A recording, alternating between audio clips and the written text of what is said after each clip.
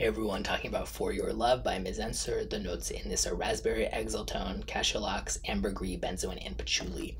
To me, this is like if someone took Baccarat Rouge and added patchouli and a light raspberry, basically.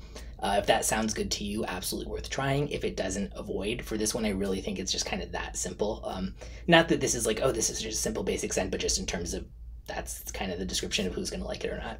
Unisex, leaning feminine, moderate to good longevity and projection. Not cheap, goes for 260 for a 100 mil. But if you've been wanting Baccarat Rouge with a dose of patchouli and a little bit of raspberry, totally worth trying. And I will link in the description where you can check it out.